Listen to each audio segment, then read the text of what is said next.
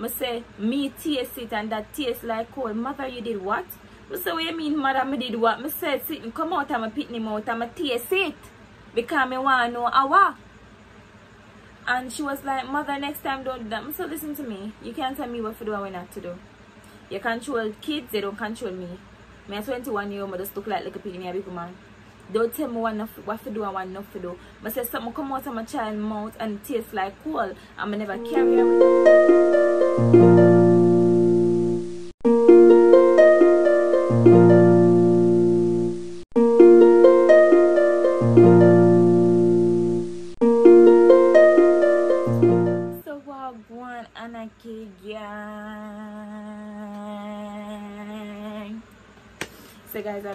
With another mother video. Okay. Period. So guys, I'm here with a story time. But before we get into the story time, guys, you don't know me, I gotta tell you no. So if you like, click the like button. You know the like bell. Click the like button, guys. What's wrong with y'all?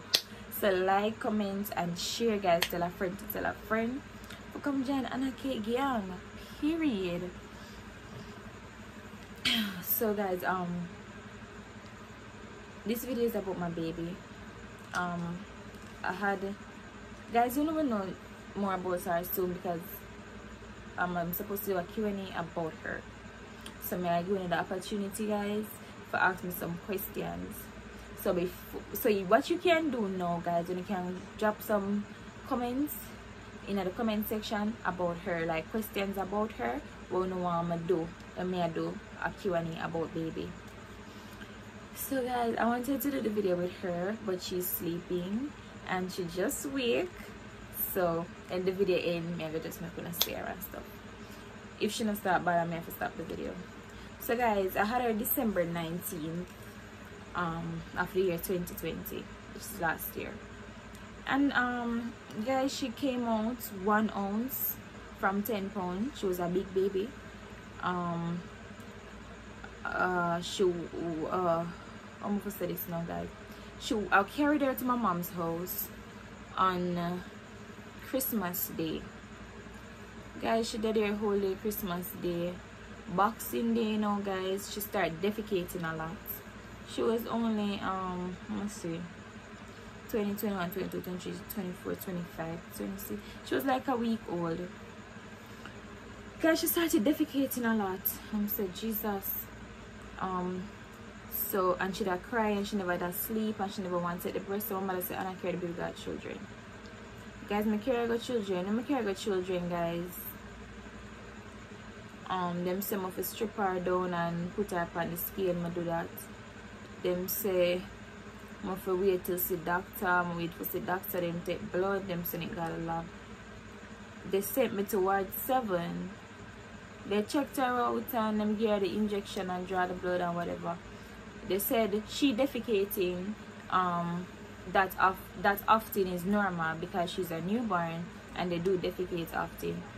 Guys, I wasn't really worried when they said it. I was like okay so that's normal. Guys when i went what happened?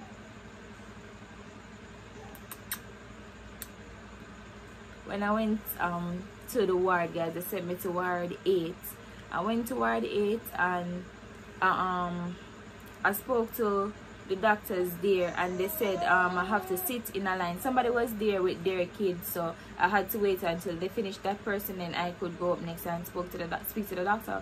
So guys while speaking to the doctor I said to the doctor what's happening with her and uh, what must I do? Can I bring her home? Because guys the motive for me was to bring her home because I was so frantic and I'm scared and I'm worried what is going to happen to her. I want to see the doctor now. And they said to me, say, Mother, we cannot tell you that we are going to send you home with this child because we have a blood sample and we need to check the blood sample and make sure say nothing to do her. Guys, Jesus, there's result come back, they find sodium in a seven day old baby. I say sodium? You mean they find sodium in our blood? So we can't, we can't go with my child. I have to keep her. I said, alright then. Fine, so you mean I blood, I have to keep her. Alright. I said to them, them say them I to admit her. I said I can't carry her back tomorrow. I'm not gonna know she's sick. She's sick and not carry her back for admit her. I can't just please carry her back tomorrow. I couldn't admit her. Them say them can. Then I'm to admit her now. Guys, I was there. I watched them take off her clothes. Same time in the hours when I after 11. Change her clothes, give me her clothes, bathe her. Guys, uh, she was there for 10 days. Um, every day, guys, I carry six pampers. And then I carry a ointment to rub. I carry two ointments. Give me a second, guys.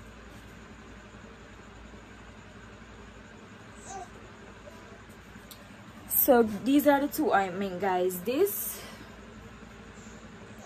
and this, guys. Two ointment to rub on her vagina and her bottom.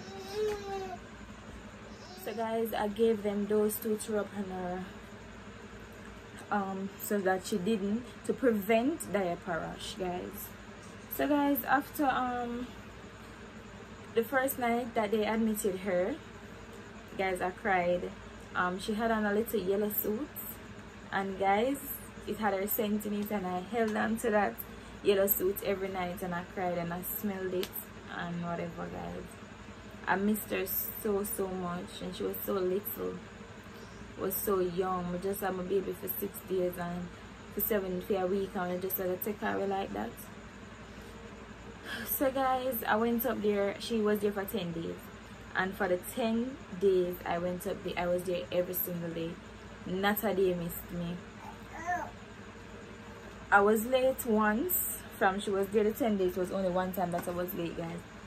Um, the I went as I said guys I went up there every day with pampers and um, um pampers and breast milk but what I did guys I checked the pampers say four pampers leave I put one more than likely sometimes two pampers leave sometimes three so it depends on how much pampers I leave them with five pampers daily. But always leave, make sure some leave them with at least five pampers. Because guys if somebody don't child so for instance you don't carry any pampers for your child what they will do is take pampers from what another parent bring and put it on your child. So guys i don't have it like that. I'm sorry. Me not leave no case of pampers up there. For them put it on everybody pitney i'm not doing it. I don't have it me have to work too hard for my money. For you leave your child unattended without pampers for whatever reason and them use my pampers and put on your baby. I do not have it. Me, me just not have it. However rude that one sound i do not have it so me can't afford to leave more than five pampers. Because newborn dear at eight thousand dollar for it it's not cheap. So guys um one day though i came in and you have to wash your hands guys. You have to wash your hand um take up a chair put it down wash your hand and put they give you a thing to put over your clothing. Guys one day i went and my baby was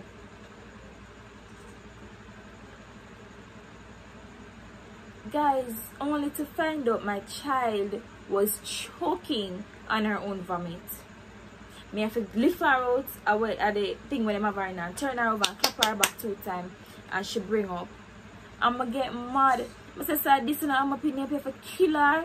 Imagine the baby I choke on her vomit and everybody, guys, everybody depend them phone.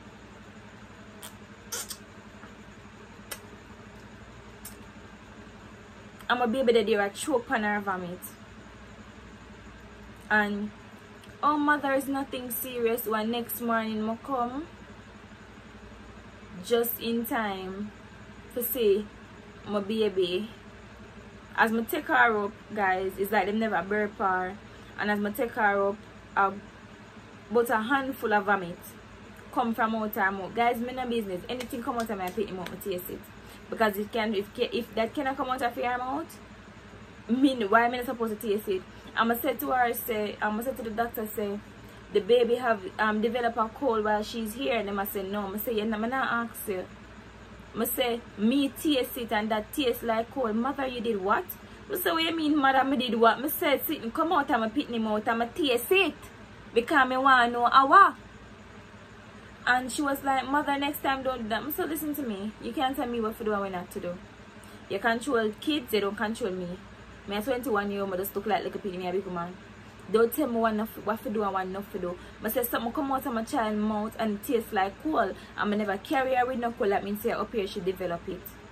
They must say um up here get it developed. So they must say um they might run some blood test and have no coal. People play something else. So I say alright every morning I go guys my breastfeed her, I change her pampers, I'm put her back to sleep before I leave. Every morning I read Psalms over her head, at least five Psalms over her head. I clip her fingernail and stuff. Um she has shed skin guys because she was way overdue. So when I go one morning I just see like her skin has strip all over our face, our neck, our on our bottom, our foot bottom, our legs, everywhere guys it's a shed um skin like the old skin have come off the new skin now. My, uh, my rubber done with olive oil and my pray over my read that Bible. My video her that film see because only one parent, parent could have go in. And because him not have no breast milk, him say, you know what, best me wall out and you go into video call my guys. Them know why you video call while they're in there. They know why you take a picture of your kids. But guys, me screechy and take a couple picture of her while she was there. And um after all of that happened um the fifth day they broke silence. And them tell me what happened. I went guys she had a um I don't remember what it's something name where you can get drip through here. And one morning I came guys. One was here still in her skin. One was in the side of her foot and one was across her back. So what? So I called the nurse and they said, Mother, we are going to talk to all the parents this morning so you'll know what's going on with your baby today, guys. So I said, alright, guys, when they spoke to me, they basically said to me that they took fluid from her back. I don't know what kind of fluid, and they can't ask me because they didn't say they took fluid from her back guys.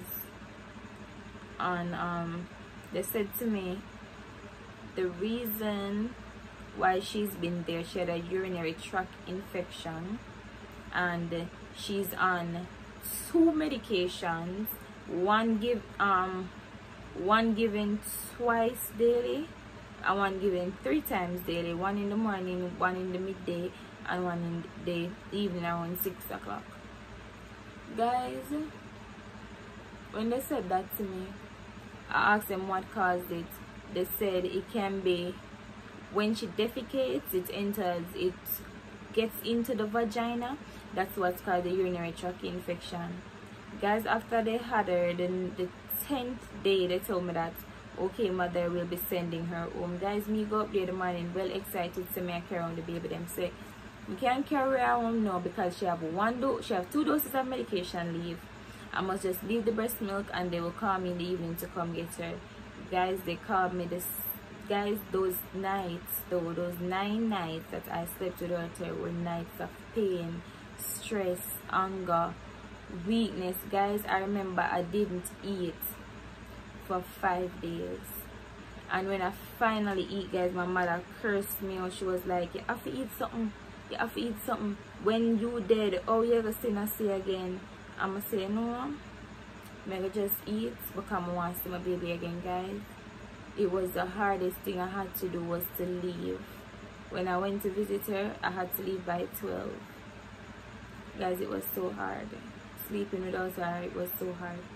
And guys i said to um when i went the ninth the 10th day day um they told me I must go to the lab, carry her to the lab for them to do an ultrasound. I brought her to the lab, they did the ultrasound, they're saying they're not seeing anything there, she's okay. When I, they said they would get the results by midday to tell me, to call me later and give me the updates. They called me and they said I could come for her, she's okay there, they didn't find anything in the ultrasound that she did there. I can bring her home guys when i bought her home i was so happy. I missed her so so much. And guys when um I went for her they gave me a slip and they said I must come back Friday because they discharged her the Wednesday. Said I must come back Friday for them to do a test to see if she still has the infection so they can give me medications for her or the infection is cleared up guys. When I went and they told me that okay we're going to give you this they gave me another piece of paper. When I read the paper it said deaf department. So she said um you have to make an appointment for the deaf department because the antibiotic that we gave the child could cause deafness. Guys them wait till them done get the injection when she'd have been deaf before them tell me say the injection could have caused deafness guys. Guys i was so worried. I called the deaf department. They took so long to they i called them like january and they give me a date in march. No i called them january and they give me a date in april. Yeah in late april they give me a date to went to come up there i went up there they did it they said they it's fine she's hearing okay. The only thing happened is that she has wax in her ears. That's the only thing. And i said okay. And they said i must carry the information to the clinic that i had her in. So guys she went to clinic late because you know you got six day clinic. She could have got six day clinic because she in hospital for 10 days. So our first new year's eve our first new year's was spent in the hospital. Guys that was one of the things where shocked me up also. Just to say big new year's everybody have them baby. I'm in the hospital. Guys i cried. I literally i cried. I felt so bad. And when they discharged her guys um it was the best day of my life. Um guys to be honest with children they are professionals but i don't think they do this some of them i don't think they do their job for the love of it. I just feel like oh this gets the bill paid so let's do it. That's what i honestly feel. Because there's no way a child can be there choking and you don't see. One morning guys i came in and a child face was stuck to the glass. Like the, the child couldn't breathe and I said, you know what, anything I'm, I'm gonna take up the baby, I'm gonna flip her over. I'm someone else said the baby couldn't breathe and everybody's there on their phone. And una they on them phone and right mind them own business. Nobody not pay attention to the child. We could have dead here and suffocate and lose their life. And them that tell the mother all sorts of foolishness. The mother said to the mother, say, Mother, you know, to be honest, you some of us were on our phone, some of us were talking, some of us were on Snapchat taking pictures and sticking out our tongue out of our heads and your child died. But guys, I that was the worst experience. I wouldn't wish that on my enemy. I wouldn't wish it on my enemy. So guys, I just want to say stay positive. If your child is in the hospital, your child is deformed, can't walk, can't talk, is blind, guys, don't give up on your kids. And don't let what doctor said deter um det, um tear you down. Because they told me my child would be deaf. And every move move, she just want to hear her father come in. Nassy, I'm home, she starts scream. She just want wake and I see nobody I'm um, take time pull the door. I say, hey, where you cry for? She stop crying and I start look for me which part mommy did. My baby with them say with that deaf. The devil is a liar, guys. Pray. My now stop telling them for pray and believing in God. Any dis um disability a child have no no treat the child no beat the child and get upset at the child. God a God and God not give more than what you can bear. Believe in him, trust him, pray to him if you have to sit down and cry to myself, Father God, I'm tired of this sit down and cry. So guys, those are my few encouragement to you. Thanks for being here. Thanks for watching my story time. Guys, drop drop in the comments on what to me do or go back to my Instagram and give me some suggestions of video you want me to do. Until I see you later guys.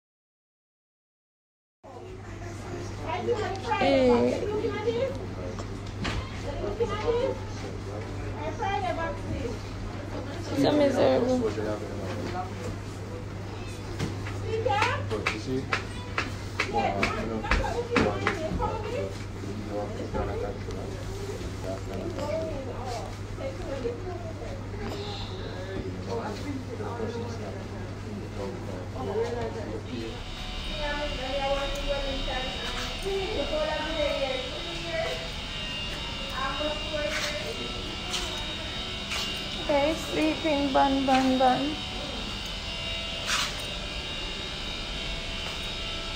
Sleeping bunny.